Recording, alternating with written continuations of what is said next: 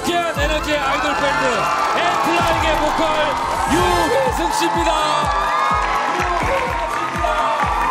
밴드구나 밴드야 엠플라잉 밴드야 그래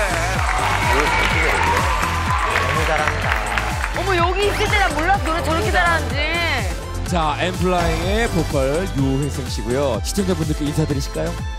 네 안녕하세요 엠플라잉의 막내 보컬을 맡고 있는 유혜승입니다 네.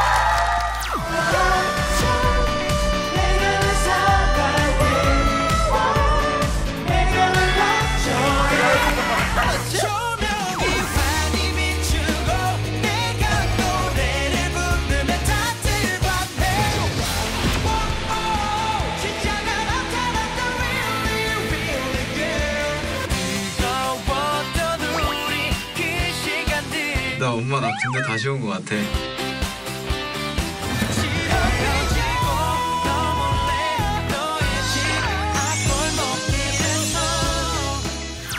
우리 어, 복면가왕 연예인 판정단으로도 예, 참여를 하신 적이 있고 지난해 오디션 프로그램에서 시원한 보컬로 많은 사랑을 받았던 유혜승 씨입니다. 나이가 몇 살이지? 나이가 지금 24살입니다.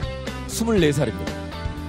24살이에요. 최고왕차게 생겼네 최고랑이요? 저만 혼자 사랑하는 건 상관없죠 아유 뭐, 뭐 가면 쓰고 있었는데 뭐. 네, 예, 그렇죠. 예. 아유 뭐 목소리를 사랑하는 거야 아무 문제가 되지 않습니다. 아, 24 김성주 위기였었어요. 네네네. 아, 플라잉 해가지고 내가. 네네. 어우 익명의 제가 요거 N이었거든요. N. 그 저 제... 익명 힌트에 아, 알았어. 플라잉이야. 어, 김성주 또 굳었어. 또 굳었어.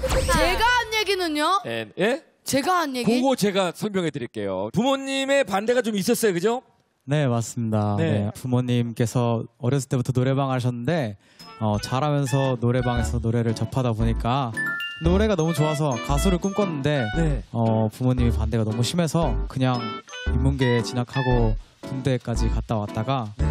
이제 군대 제대하기 전에 내 인생 한번 살아봐야겠다고 복학 전까지만 기회를 달라고 네네. 정말 무릎 꿇고 빌어서 어. 그 해에 바로 오신 프로그램에 나가게 됐습니다. 네네네. 어머 그리고 인간극장을 끊어야겠어요 그러니까 딱 삶을 맞는 맞추네 스토리야. 이제 딱 맞는 스토리예요. 예. 2라운드 때부터 대단한 상승세였습니다. 잠시만 안녕이라는 노래를 선곡한 특별한 이유가 있었다고요? 어, 제가 맨 처음에 세상에 나오게 된 이유가 이제 프로듀스 101이라는 아, 말해도 되나? 네, 네, 상관없어요. 네. 나갔는데 네네. 제가 노래를 정말 하고 싶었는데 순위가 나와서 댄스만 보여줬어요. 그래서 이제 경연 무대가 끝나고 저를 응원해 주셨던 분들께 감사한 마음에 잠시만 안녕을 한 소절 불러드렸었는데 네네. 방송에 안 나갔거든요. 어. 그래서 이건 꼭 한번 언젠가 불러드려야겠다라고 네네. 생각하고 아, 네, 준비했습니다. 그렇군요.